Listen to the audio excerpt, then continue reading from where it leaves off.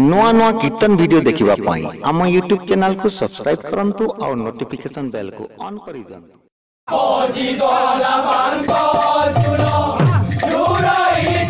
Oh,